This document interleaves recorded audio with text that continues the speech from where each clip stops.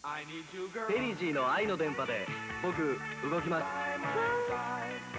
恋の操りお遊びテレパスコントロールアポジーペリジーインターホン AM ラジオもよろしく。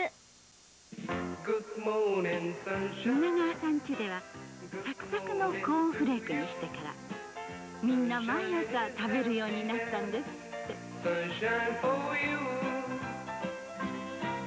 豊田さん家ではミルクたっぷりのコーンフレークが朝の主役なんですって。一番大切なのは朝食なんだ。ケロッグコーンフレーク。